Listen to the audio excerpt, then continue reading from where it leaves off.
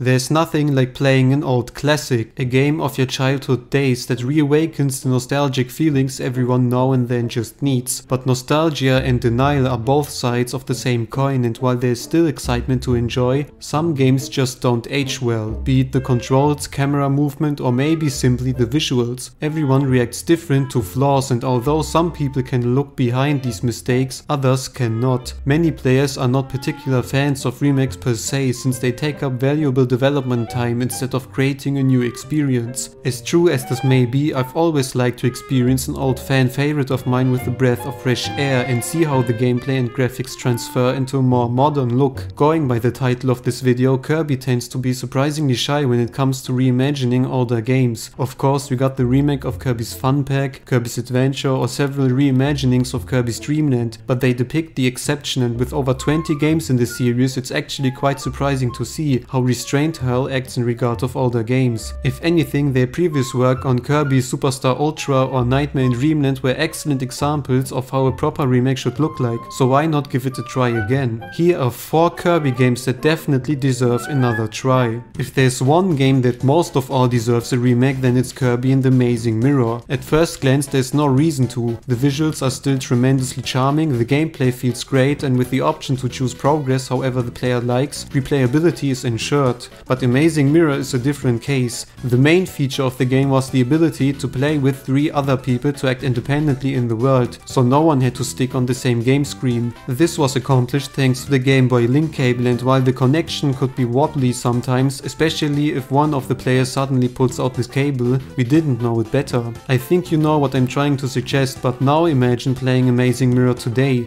Surely there's no chance in getting four people together to sit down with their tiny Game Boy on the tiny screen to be linked with the cable that could interrupt the connection at any time. It is nice to have the option to play the game on the Wii U eShop, but without the multiplayer a good bunch of the experience gets lost. Meeting one of your partner randomly while traversing through the huge connected world are just the little moments that matter the most. While many suggested remakes to games originate from the idea of modernizing them due to outdated graphics or other seemingly unplayable aspects, Amazing Mirror is one of the few cases where it's necessary because it's not possible anymore to play the game it was was intended for today. As I mentioned everything else pretty much aged like fine wine, so updating the visuals, adding an online mode and adjusting the gameplay to the modern style would basically be more than enough. What I exactly mean by adjusting the gameplay is for example the staging of modern Kirby boss fights. Amazing Mirror's bosses were not bad by any means but it's undeniable how much the battles have evolved over the years and become great spectacles especially in the more recent games. So adding one more phase and different attack patterns to each one would be nothing series hasn't done before. The final boss comes very close to what I mean and while we're at the final, please make the ending more climactic, it ended rather abrupt. Everything else is up to debate, but by just transferring the multiplayer to modern consoles with the gameplay fine-tuning of modern games, the developers wouldn't have to do much work while delivering a great classic and let this game finally mirror the greatness we've lost along the way. Kirby Air Ride is probably the title that most people would agree on. While Kirby was on his way to check off every possible genre there's an in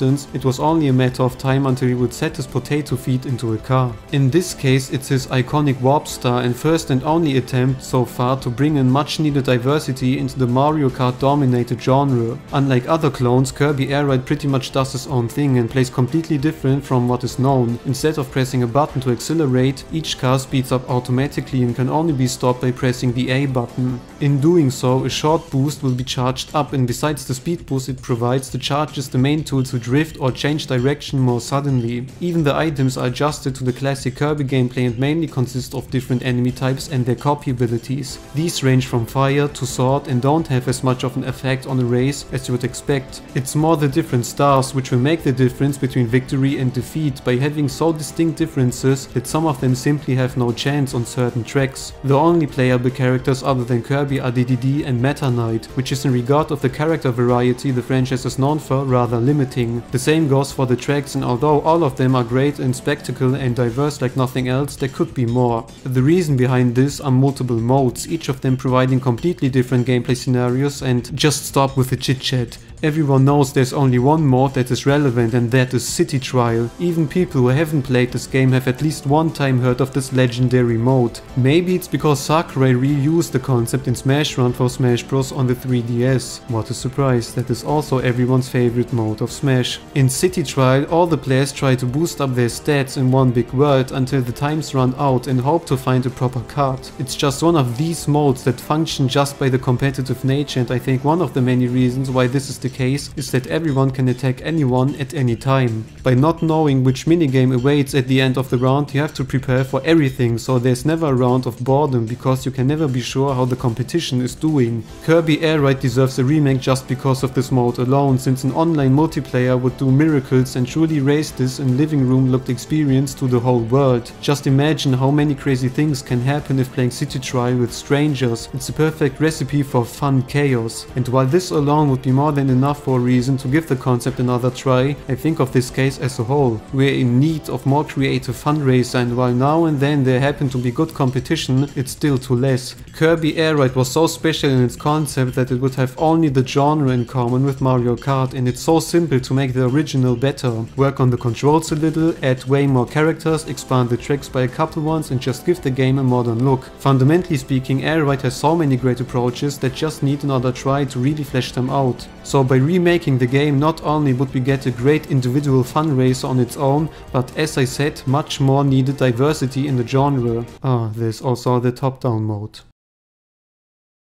This was nice too. What have Mario 64, Zelda Ocarina of Time, Majora's Mask or Pokemon Snap in common? They all have either gotten remakes or faithful successors because the shift to 3D is known for being visually aged like fine milk on a summer day. But surprisingly as it is, Kirby 64 never experienced the same treatment although it always seemed like this should be the Kirby game that deserves it the most, at least from an optical standpoint. The game by itself plays out like a very traditional Kirby platform and features all the mechanics you come to expect at this point. One of the minor but atmospheric changes was the dynamic camera and its habit to constantly shift the perspective in order to create a more lively world and this 2.5D style the game is known for. And while this change of presentation certainly helped to make the level feel like actual places instead of locations created by a level designer, it also showed how poorly the game looked even at its release. By the time Kirby 64 released, the Nintendo 64 already reached its final stage and showed games that looked way better despite being 2 or 3 years older. The only reason why the game somewhat kept an individual charm is the colorful graphics, which automatically aged nicer but can only hide the rough edges to a certain extent. Even copy abilities didn't change Kirby's look and although it probably would have been a good amount of work to create separate costumes for each copy combination, it still makes the main gimmick of the game not as much powerful as it could have been for the first entry on such a powerful hardware at that time. Obviously the backgrounds and graphics overall would benefit greatly from a new look since modern Kirby, especially Star Allies looks absolutely gorgeous with its flamboyant visuals. And since Kirby 64 places even more particular emphasis on the surroundings in different locations, the developers would have a blast filling each level with all sorts of details and little discoveries. It could even go beyond this concept and feature maybe an hidden object side mode game, where you have to look at a screenshot from a random level and have to find something notable or a mistake. Kirby games love to have these extra modes and still target children, so having a little extra mode that could be enjoyed by younger ones and bring players to pay more attention to their surroundings in the adventure would even give the developers more of a reason to depict the dynamic view as something special. Staying with the theme of expanding the visuals, every copy ability would naturally get individual designs, which by itself isn't something special at this point. The interesting part would be the combinations and they could be tackled with the modern gameplay. As it stands now, abilities normally consist of multiple attacks and different movesets which could be transferred into the copy combinations to give them even more variety. The only concern I see in this enhancement is how this would probably complicate things too much,